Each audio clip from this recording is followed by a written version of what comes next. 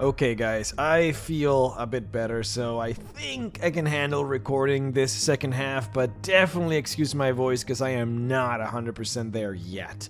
Now, on part 1 of our half-elf video, we talked about the different kinds of half-elves, the half-sea elves, the half-drow, and of course, the standard half-elf that you are used to seeing. We talked about how populous half-elves are in the world, their demographics in the different kingdoms of the world, and we started talking about what has effectively become something of a racial capital for them in the world. Uh, we still have a lot to go through though because this is a enormous topic that deserves a lot of time invested on it. So uh, strap in for this one. People love half elves, so I wanted to make sure to give you guys as much information as I could on it. Now, there's no reason to dilly dally too much here. Let's get right into it. For those of you who don't know, I have an online store where I make and sell Dungeons & Dragons PDFs to supplement your games. It's MrRhexx.store, and in there you can find a bunch of stuff from adventures to new 5th edition classes to lore-based game accessories to even entire modifications to the way 5th edition functions. In Armor Redesigned, I went and remade the way AC functions in D&D in order to include one of my favorite RPG concepts, damage reduction. Armor should mitigate the damage that you take, and the stronger your armor, the less damage that you should take from attacks. Doesn't it bother you that players or even monsters can sometimes have like 25 AC, making them basically unhittable? It can be so unimmersive when an enormous purple worm makes a cataclysmic bite attack against a slow and non-moving fighter in full plate, only to just miss. In Armor Redesigned, I added damage reduction to the game, I, I, rebalanced all of the armors in 5th edition so that even padded armor was useful, made it so that magical weapons that dealt extra damage don't just completely break the game, added multiple tables to help you understand how much damage reduction monsters should have, how much money players should be able to spend on armor per level, what is the expected amount of power players should have per level with magical weapons, and even added an entire section with exotic types of armor. Now you can craft adamantine, carapace, draconic, mithril, orichalcum, silver, and telstan armor, and even more. All of it with their prices, their effects, and even lore associated with each of the exotic materials. Now please go ahead and check out my Armor Redesigned PDF and my other content there as well at mrrhexx.store. Everything here, with the exception of the adventure, was written by me. I put a lot of effort in all of this stuff and all of this content in hopes that it'll make your 5th edition experience better. So if you want to support the channel, uh, there is no better way than checking out my store and see if you like something. MrRhexx.store. Thank you guys so much. Now, back to the video.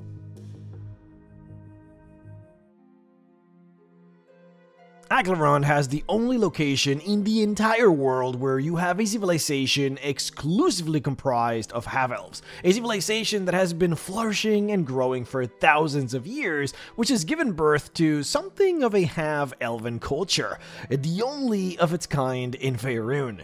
This group of half-elves live in the Yuirwood and are descendants of green elves that stayed behind in the forest when the humans started expanding onto the peninsula.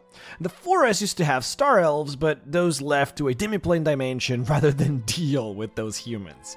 Now, the southern part of Aglarond is mostly deserted, and it is not suitable for life because of all of the monsters that live there. It is also relatively dangerous as much fighting happens there with Aglarond's enemies, which we will cover in just a bit.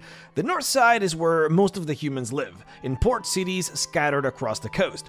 These cities are mostly all human, but with a healthy minority of urban half-elves that keep the peace between the cities and the nomadic half half-elves of the forest.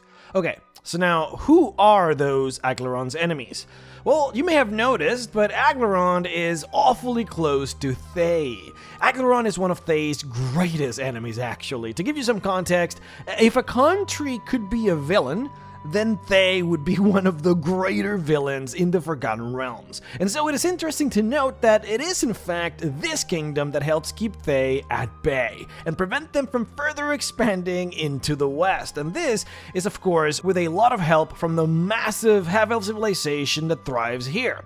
In particular in the big battlegrounds that form on the southern sections of the Yuirwood. Uh, this here, Glarondar, is a massive fortress and they have constructed uh, some something of a wall of China type of approach that stretches from the fortress all the way towards the mountain, making this Great Wall about 15 miles long.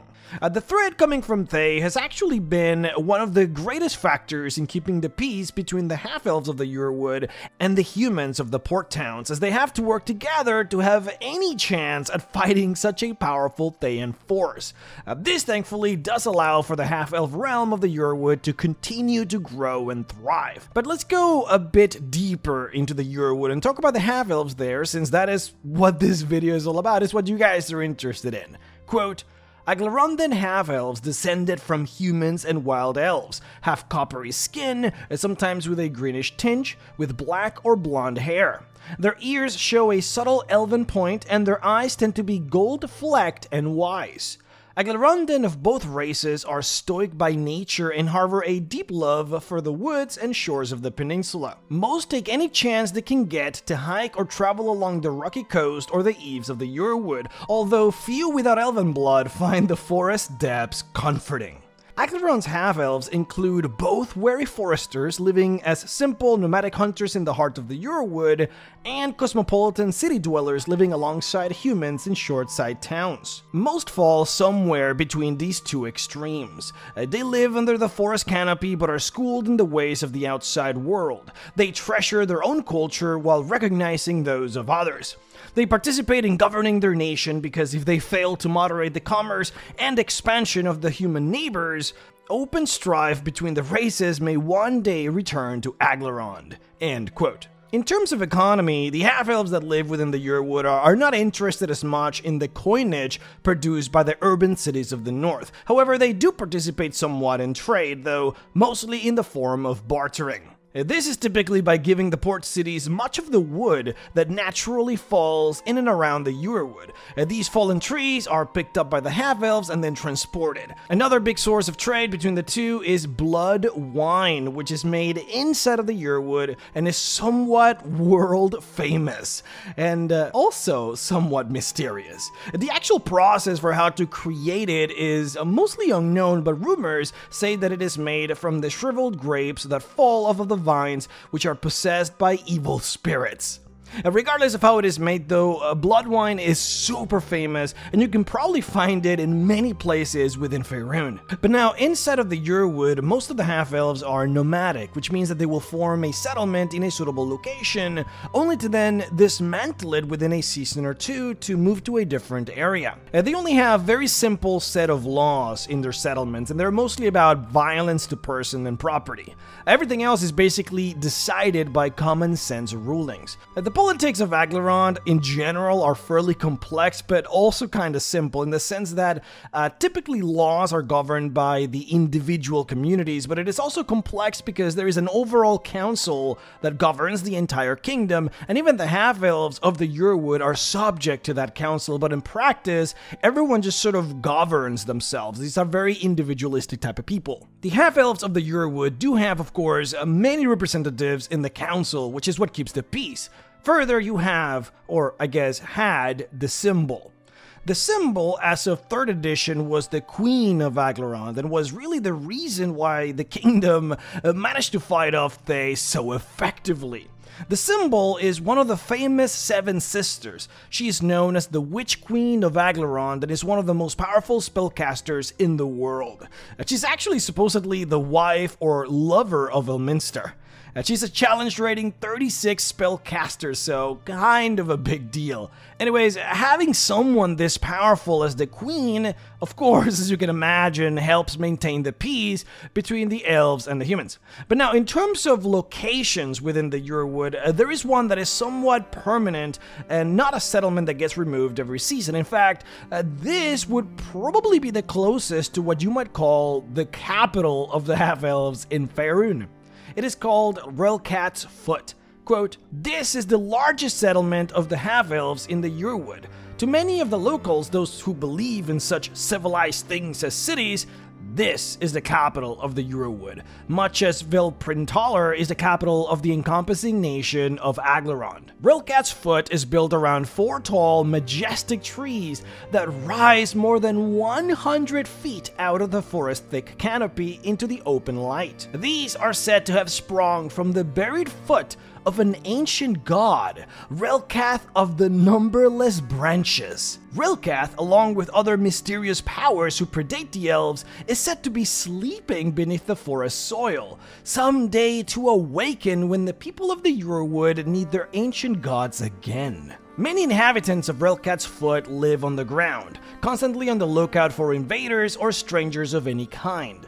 The rest make their homes on wooden platforms in the massive trees and the surrounding forest, all strung together by a complex network of ropes and suspension bridges. Outsiders are rarely permitted in the boughs of the trees.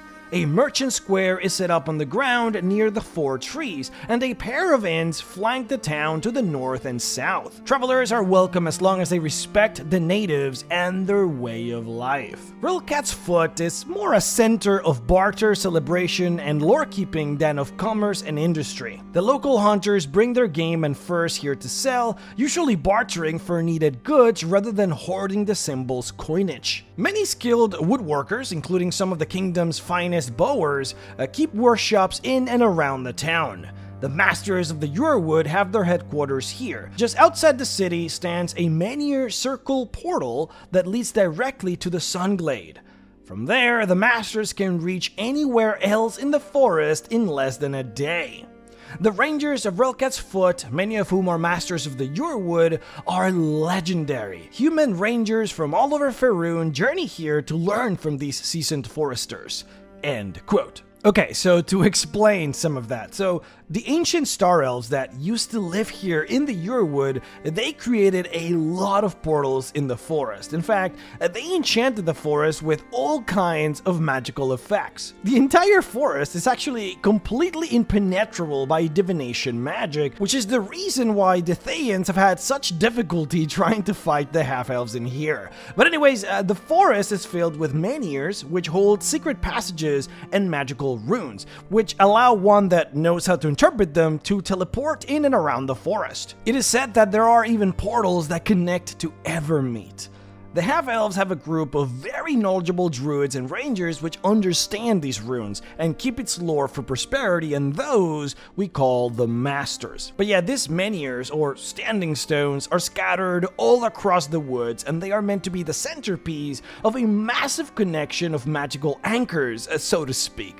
The original Star Elves, they used these menhirs as a focus for their magic in order to create a great portal into that demiplane that they now inhabit. These Star Elves, however, are currently at war with a mysterious set of alien monsters and are losing. So the lore does state that the Star Elves are considering potentially either returning to the Yuirwood or asking the Half Elves for help. And according to the Sword Coast Adventurer's Guide, it seems that the Star Elves have actually returned to the Yuirwood as of the present day, presumably because they probably lost that magical war, though we don't have any more information about this. This could, of course, have massive implications since the Star Elves have been alive since the founding time, an ancient era thousands of years old. But alas, we don't really know much about them yet, though it might be safe to assume that as of the present day, there's probably a massive war in Aglarond between all of these elves,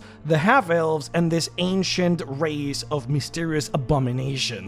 But yeah, since we don't know, I gotta leave it there. As far as the main congregation of half-elves in the world, Aglarond is where that would be. But now, moving on to a different topic, why aren't there any more half-elves? I mean, there are a lot of humans, and there used to be a fair amount of elves, and you would imagine that half-elves would reproduce with one another and create more, no?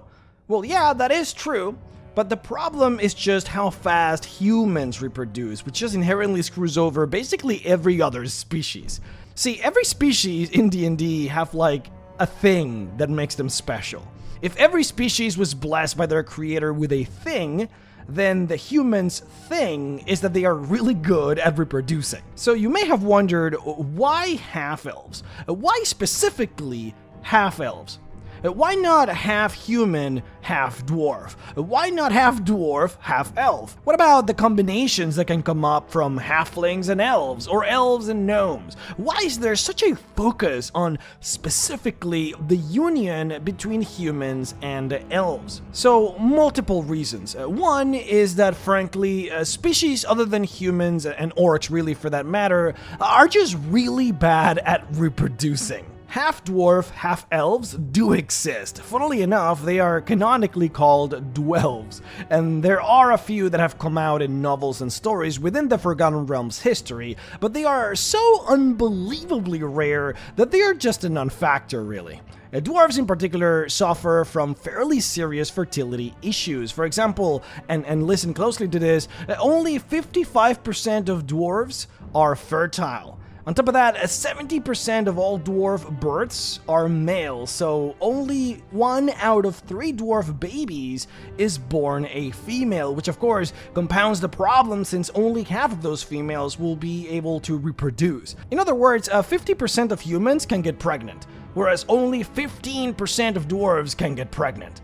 I don't believe we have statistics like these for the other species, and it is likely that they are not that bad, but they are probably not that far off either. In general, the lore of the Forgotten Realms makes it extremely clear that the reproductive speed of humans is unlike anything else that exists in the world, and again, with the exception of the orcs, which also have that same reproductive strength as humans do. It's funny in a sad way, I suppose, that the lore for the dwarves even states that there are many dwarves that uh, literally will try and find humans to reproduce with because it is just frankly a lot easier to reproduce with humans than it is to reproduce within their own kind. Now, you might be wondering, okay, well, if that's true, then where are all of those half human, half dwarves? Are they as common as the half humans, half elves? Well, yes and no. The thing is, the dwarvish blood is very potent. Uh, whatever these guys are made out of, it is some really dense stuff. Basically, when a human and a dwarf mate, what comes out is a half dwarf, of course, but half dwarves are literally just dwarves. The lore states that there is no functional difference between a full blooded dwarf and a half dwarf. They look just like dwarves, they behave just like dwarves, have the same biological imperative as dwarves, are treated as dwarves by the communities and even deities, and have the same magical effects that are natural to the biology of dwarves. And they do not get any of the typical boons that the human blood normally provides, such as adaptability and such. The only difference really between a full dwarf and a half dwarf is basically that the half dwarf is just a bit taller and that's that's that's it. In fact, every time that you go out and adventure and find a dwarf out there, it is possible that you're actually interacting with a half dwarf and you would never be able to tell. In fact, uh, not even the dwarf itself might know if it didn't know its parents. Uh, further, if that half dwarf then mates with a full blooded dwarf, then the resulting union would produce a full-blooded dwarf. And if the half-dwarf mates with another half-dwarf or any other species, then you would just simply continue to get half-dwarves. Just again, they would just look like dwarves anyways. In other words, if you were wondering, okay, we have half elves, why don't we have half dwarves? Well, that is because half dwarves don't really exist in the same way that half elves exist. They are literally just dwarves.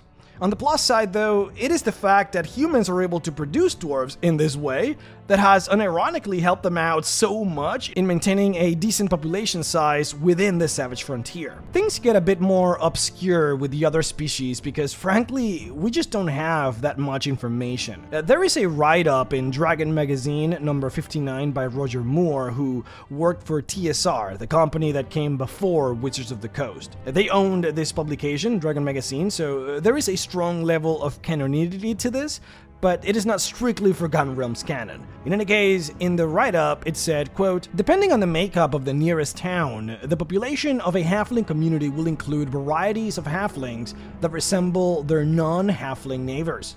Hare feet live near men, have no infravision, and reside in small cottages. Tall fellows live in forests and have infravision like elves, as well as being more lithe and elven in appearance. Stouts are shorter than hare feet, live in caves and tunnel complexes, and have infravision.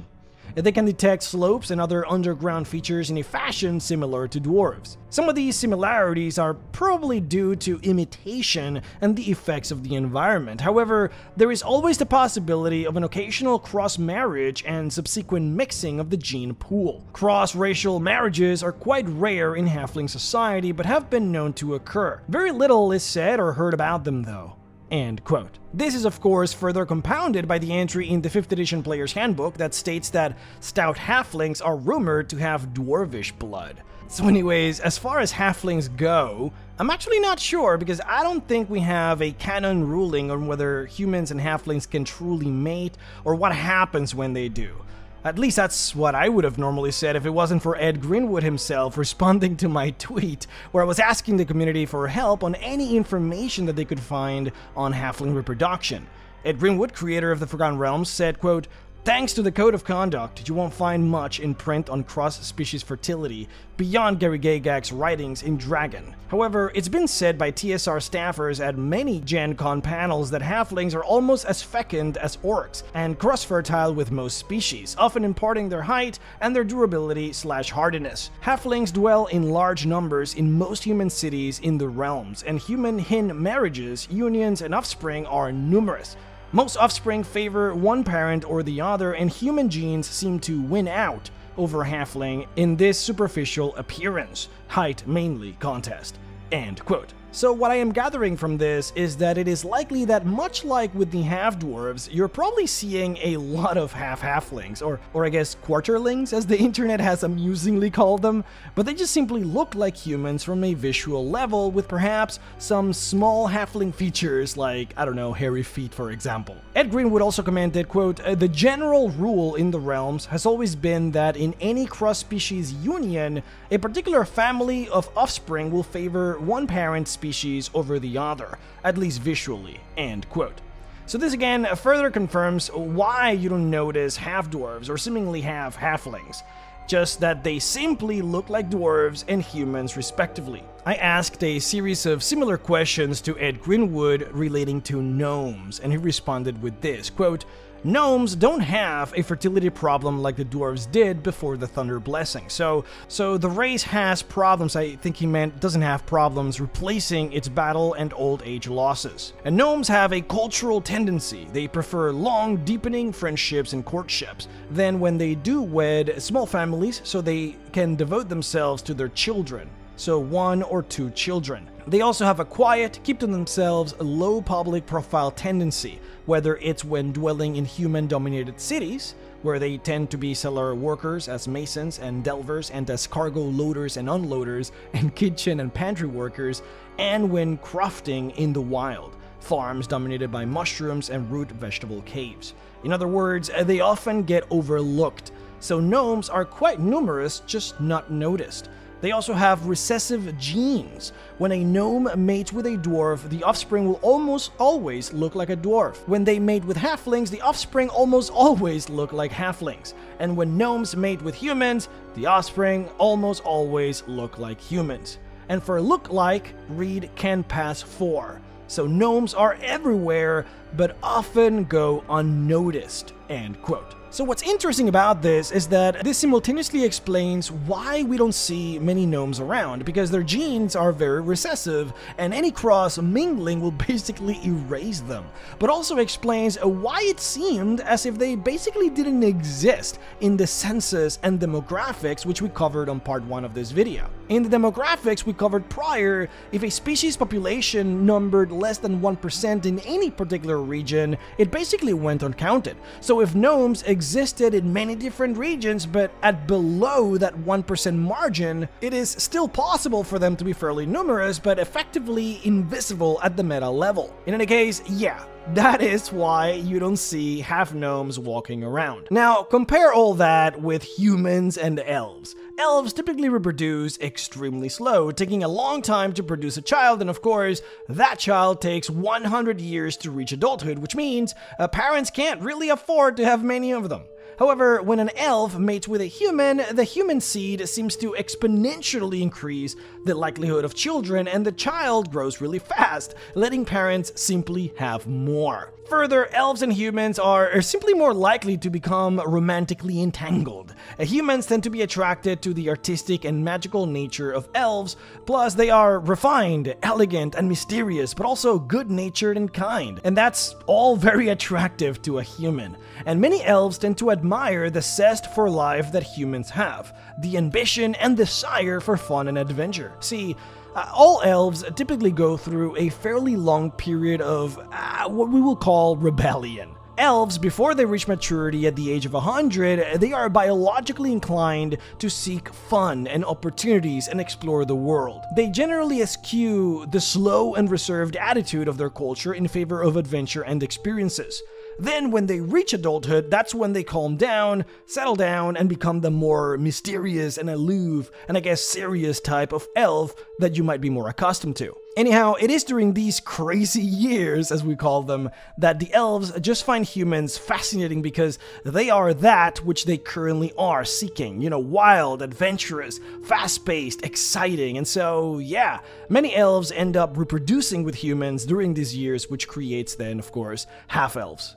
In conclusion, uh, that is why you see a ton of half elves and why half elves are so big within the Forgotten Realms world, and why you don't see half dwarves or half halflings or half gnomes. Half orcs and orcs, of course, as we've talked about a lot before, are a bit different because in the Forgotten Realms, orcs are literally monsters. Uh, these are not meant to be like the orcs from, say, Elder Scrolls, you know, like a species that is basically just like a green skinned human with tusks or something. And here, orcs are like the Tolkien orcs. They, they look like monsters. They are inherently evil and destroy everything within their path. So, half orcs overwhelmingly just come from enslavement and domination, with an incredibly small amount amount that would come from the rare consensual intermingling. But yeah, much like how humans have that almost magical ability to successfully reproduce with any species, orcs do have that as well, and there are many half orcs variants out in the world. Ogrillons, for example, are half orc, half ogre. Boogans are half orc, half quaggoth.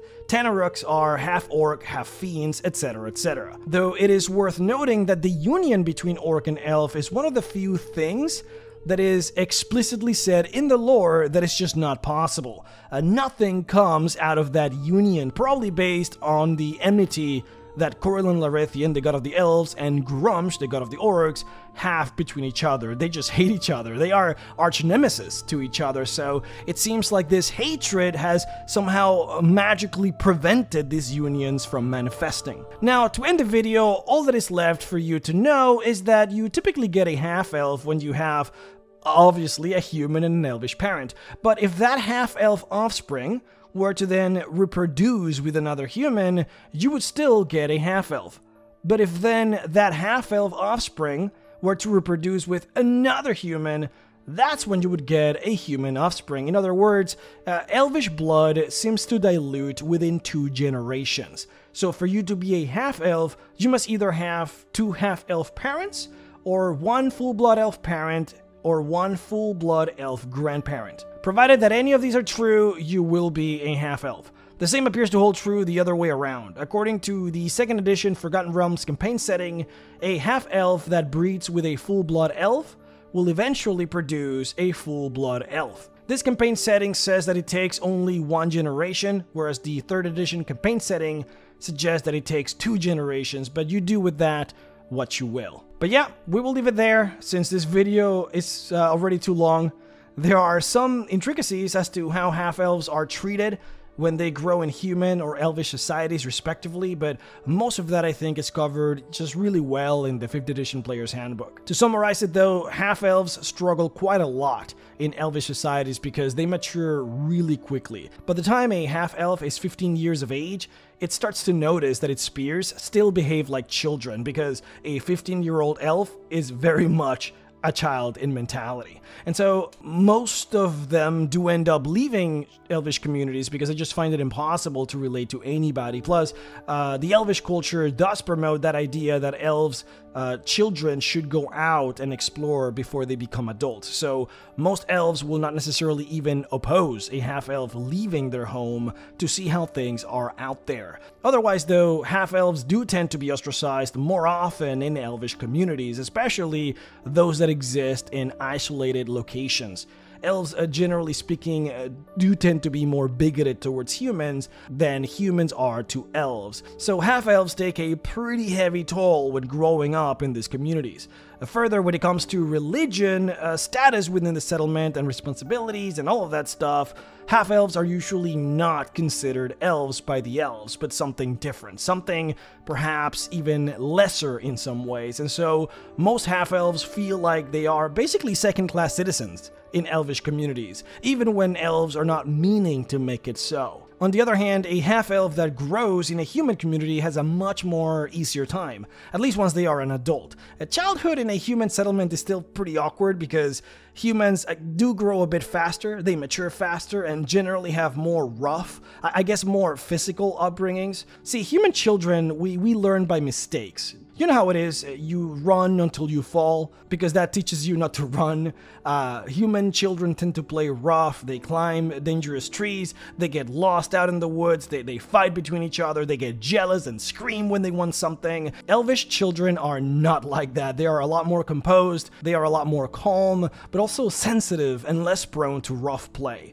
Similar things happen to half elf children where they don't really want to play rough, they don't want to play sports. They instead may enjoy drawing more often or walking peacefully. A half elf child might probably enjoy more story time for a lot longer than human children who might get bored of such activities once they reach a certain age. Because of all these things, it is far more likely for human children to bully that have elven children, since they find them easy targets who likely will not fight back and will instead become submissive to the bullies. This can, of course, create trauma, which is one of the reasons why most half elves tend to be loners that, that prefer living outside of big settlements. They typically dislike big congregations of people and prefer to be on their own instead. This is why half elves have a hard time in human societies, though, again, uh, this is generally just for childhood. Once a half elf grows into an adult, they find that human society is far better and more conducive to a proper and good life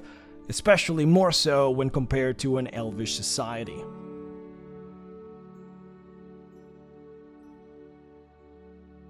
Thank you guys so much for watching, and again, I apologize for the delay on the upload. I just got sick, so I couldn't record uh, this section of the video, but at least I hope that you guys are happy, that you got a lot of stuff relating to species interbreeding, which I felt was super interesting. Uh, the scripts for the last three videos that relate to the Forgotten Realms timeline are already made, so I'm hoping to be able to release them promptly. Then after that, we will go back to doing dragons, which I know you guys really enjoyed. Uh, do please, if you can, uh, check out my store, mrrhexx.store, where all of my PDFs are located. Uh, what I don't tell you about Dragon Hoards was my very first one, the first one that I ever made, so the layout is not as clean as my new ones, but I put in so much awesome content in there, it's insane. I, I went back and collected all the lore that I could find on anything that related to looting dragons. So in the PDF, I have information on what you can do with dragon brains, dragon bones, uh, the rituals that you can do, by utilizing dragon blood. Uh, what happens when you drink dragon blood? I have a lot of draconic based spells from older editions that I remade into 5th edition, tons of magic items, uh, three different subclasses relating to either dragons or massive creatures. There's just so much content in there. I even went in deep about how many skills you can get from dragons and how much it would cost you to make a draconic scale mail. It's all in there mrrhexx.store. Please check it out. Anything that you can purchase in there directly supports the channel and allows me to keep doing this awesome content for you guys. Thank you all so much, and I will see you all next time.